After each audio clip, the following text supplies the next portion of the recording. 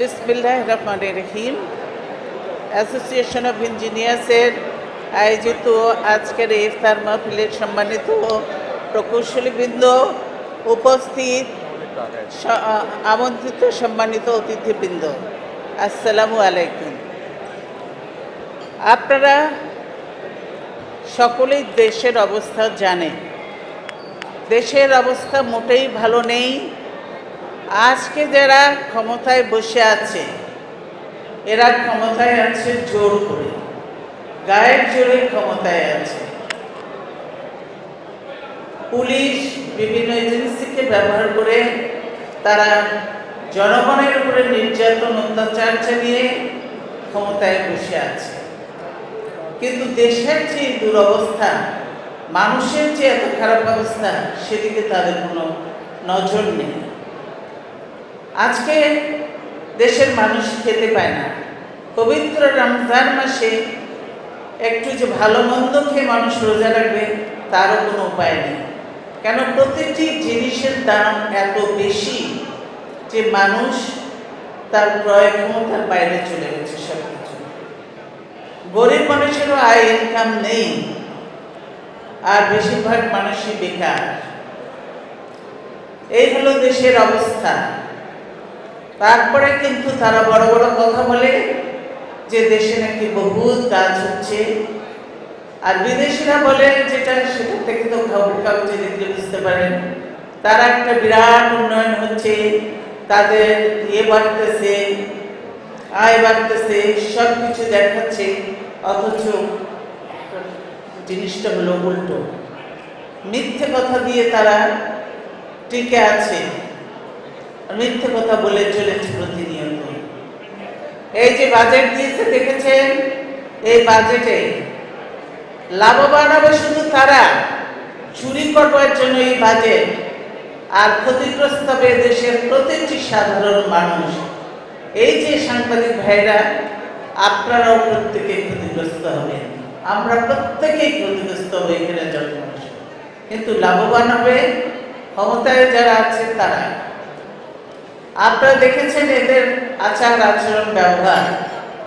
এরা মানুষকে মানুষ মনে করছে না। এখন যাকে ইচ্ছা তাকে বাড়ি থেকে বের করে দিচ্ছে। আপনারা আজকে মধু ঘটনা শুনেছেন যে তার সঙ্গে কি আচরণটা করা হয়েছে। আর অথচ তাদের নেতাকর্মীরা যে জবর জবরদখল করে, বাড়ি দখল করছে, করে তারা বসে আছে সেই দিকে কিন্তু তাদেরকে বাড়ি থেকে বের করে যার বাড়ি দখল করেছে, তাকে বাড়িতে ফিরিয়ে দেওয়া যে তাদের দায়িত্ব, সেটাও তারা মনে করে না। সেটা তারা করে না। প্রত্যেক নিয়ত কালকেও আমরা দেখেছি, কোন জায়গায় হিন্দু বাড়ির হিন্দু প্রপার্টি দখল করেছে, ছাত্রলীগের লোকজন। প্রতিনিয়ত শিক্ষকদের উপর গায়ে হাত তুলছে। সাধারণ পুলিশের উপর গায়ে হাত তুলছে। সাধারণ নাগরিকদের উপর সাংবাদিকদের উপরে যখন যাকে প্রয়োজন হচ্ছে তাদের স্বার্থে তাদেরকে মারধর করছে। মনে হচ্ছে তারা সব কিছু করার ক্ষমতা রাখে। তাদের নিজের দলের লোকজনের উপর কোনো নিয়ন্ত্রণ নয়। নিজেরা অবাধে লুটপাট করছে এবং তাদেরকে সে সুযোগ সৃষ্টি করে দিয়েছে যে লুটপাট করো। এমনকি প্রশাসনের মধ্যেও এই দুরবস্থা চলছে। প্রশাসনে ব্যাপক লুটপাট চলছে। বিভিন্ন জায়গায় পবিত্র রমজান মাসে চলছে লুটপাট। দখল এবং জবরদখল করে জবরদখল করে মানুষের কাছ থেকে টাকা আদায় করা, এইগুলো তাদের অবস্থা। আর যখন তখন যাকে মনে হবে মনে হবে যে একটা নিউট্রাল মানুষ। সে হয়তো নিরপেক্ষভাবে কাজ করে, সে একটু হয়তো শব্দ সে ভালো মন্দ ন্যায় অন্যায় বিচার করে। যদি সেখানে তাদের মন মতো না হলো যে কাজটি, সেই কাজটি অন্যায়, সে করতে চায় না তাহলে বিএনপি লোক একে বিদায় করো ক্ষমতা থেকে। এই হলো অবস্থা। আপনারা সত্যিকার বোঝেন, কিন্তু কেন তারপরেও সারা বাংলাদেশের মানুষ আজকে মনে করছে অসহায়তা কিন্তু এই অসহায়তা বেশি দিন থাকবে না। আল্লাহ তালাও এরকম সুযোগ দেয়। শয়তানকে মারার জন্য এরকম সুযোগ দেয় যে কত অপরাধ করে, কত অন্যায় করে, কত ই করে দেখি, কত জুলুম করে দেখি। তারপরে এমন এক সময় আল্লাহ তালা রশি টান দেয়, যখন তাদের অবস্থা এমন হয় যে তাদের কাঁদবারও লোক থাকে না, বা তাদের হয়ে কথা বলারও লোক থাকে না। এই অবস্থা। তাই আমি বলব যে মানুষের সঙ্গে মানুষের মতো ব্যবহার করেন। অন্যায়, জুলুম, অত্যাচার নয়। আপনারা দেখলেন বিএনপির লোক হলেও যে সে নাকি বাড়ি দখল করেছে অমুক দখল করেছে কিংবা নানাভাবে এই বাড়িতে হয়তো ব্যারিস্টার মহমুদ বহুত বছর যাবত আছে। তিরিশ বছর যাবত আছে। আজকে তাকে রাস্তায় বের করে দিয়েছে।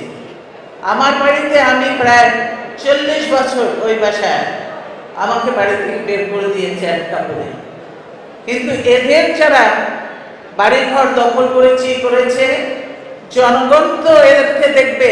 জনগণ সব হিসাব রাখছে।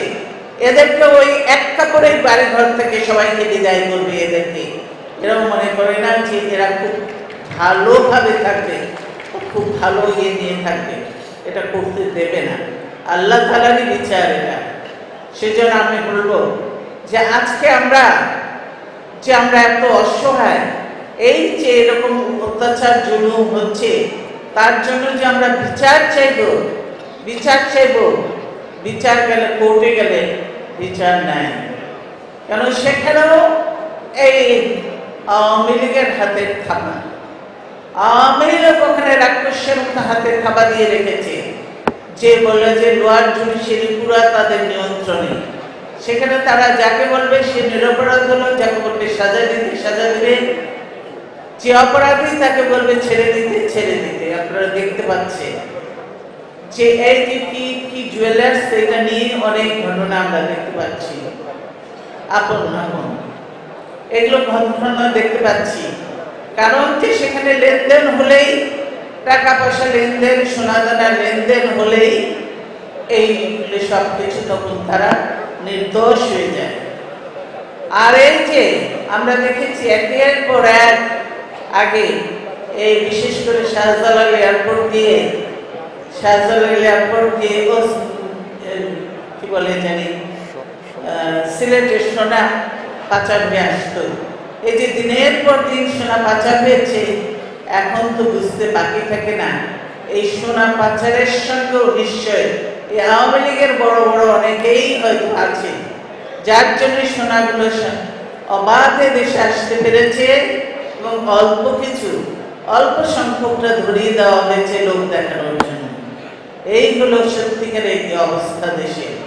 কাজে দেশ এইভাবে একটা দেশ যুদ্ধ করে যে দেশ স্বাধীন করেছে, যুদ্ধ করে জীবন দিয়ে যারা নিজের ভাষা, মাতৃভাষা প্রতিষ্ঠা করেছে, সেই দেশ আজকে নিজের ভাষা, নিজের সংস্কৃতি সব হারিয়ে ফেলছে। সেই দেশ আজকে যুদ্ধ করে স্বাধীন করেছে, সেই দেশের স্বাধীনতা আজকে আজকে আজকে অন্যের হাতে জিম্মি হতে চলেছে। এই অবস্থা চলতে পারে না। এর জন্যই প্রয়োজন আমরা বলেছি, হাসিনা বহুত লুটপাট, জুলুম অত্যাচার হয়েছে, বা আগে বাংলাদেশে কখনোই দেখিনি যে ব্যাংকগুলোতে এইভাবে লুটপাট করে ব্যাংকগুলা খালি করে ফেলে একদম। এর আগে ব্যাংক ডাকাতি দেখেছি, কিছু করেছে আওয়ামী লীগের সময়। কিন্তু এইভাবে লুটপাট করে বাংলাদেশ ব্যাংক সহ শেষ করে দেয়, সেটা দেখিনি। এইভাবে লুটপাট করে পুরো দেশটাকে শেষ করে দিয়েছে। সেই জন্য আজকে বলব, মানুষ আর এই এই অবস্থা দেখতে চায় না। মানুষ চায় সামনে পরিবর্তন। সে যদি মানুষ চায় আগামী দিনে একটা অবাধ, সুষ্ঠু, নিরপেক্ষ নির্বাচন, এবং যেই নির্বাচন হাসিনার অধীনে হলে সুষ্ঠু হবে না। সবাই বলে সুষ্ঠু। নিরপেক্ষ এবং সকলের অংশগ্রহণ। হাসিনার অধীনে হলে সকলের অংশগ্রহণও হবে না, সুষ্ঠু হবে না, নিরপেক্ষ হবে না এবং নির্বাচন কমিশন চাইলেও কিছু ক্ষমতা করার ক্ষমতা রাখবে না। সেজন্য প্রয়োজন হাসিনাকে ক্ষমতা থেকে সরিয়েই নির্বাচনের ব্যবস্থা করতে হবে। আমি আমার বক্তব্য দীর্ঘায়িত না করি, যাতে সেই নির্বাচনে সকল দল অংশগ্রহণ করতে পারে, অবাধ, সুষ্ঠু, নিরপেক্ষ নির্বাচন হতে পারে। তার ব্যবস্থা করা এখন নির্বাচন কমিশনে যারা আছে, তাদের দায়িত্ব। তাদের দায়িত্ব এই আওয়ামী লীগ। এই আওয়ামী লীগ বিনা ভোটের বিনা ভোটের সরকার, জবরদখলকারী সরকারের চাটুকারি করা নয়। জনগণ কি চায় জনগণের চাহিদা পূরণ করার জন্য নিরপেক্ষ নির্বাচন করে তারা প্রমাণ করবে যে তারা একটা সুষ্ঠু নির্বাচন করেছে এবং জনগণের আশা আকাঙ্ক্ষার প্রতিফলন সেখানে ঘটেছে। আমি আমার বক্তব্য দীর্ঘায়িত না করে আপনাদের সকলকে ধন্যবাদ জানাচ্ছি।